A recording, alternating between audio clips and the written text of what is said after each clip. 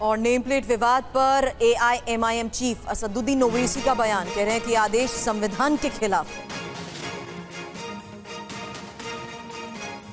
हमने कहा कि कोई सरकार संविधान के खिलाफ ऑर्डर पास करती है तो भारत सरकार को उसका नोट लेना चाहिए, उनके पास अख्तियार है।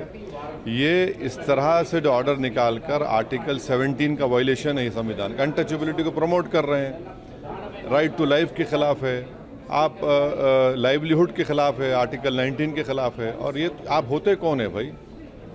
आप किस किस बुनियाद पर ऑर्डर निकाल और आपके ऑर्डर निकालने से मुजफ्फरनगर इतने ढाबे और मुस्लिम मुस्लिम एम्प्लॉयज़ को निकाल दिया गया है जो मुसलमान के ढाबे थे, वहाँ कोई जा नहीं रहा है खाना खाने के लिए। अब ये कहाँ रुकेगा कल कोई मुसलमान बोलेगा रमज़ान में तीस दिन रोज़े रखता हूँ, पंद्रह घंटे में पानी नहीं पीता हूँ। पानी मत पिलाइए किसी को। ऐसा कर सकते क्या आप? और किस बुनियाद पर आपकी ए को मैकडोनल्ड से इतनी मोहब्बत कैसा होगी आपको? उनको कहा जा रहा है क्या? तो ये सिर्फ़ नफ़रत की निशानी है मुसलमानों के खिलाफ। खुली डिस्क्रिमिनेशन किए जा रहे अपारताइड है ये तो। क्लियर कट अपारताइड है। और हम विकसित भारत की बात कर रहे हैं या फिर हिटलर की भारत की बात कर रहे हैं?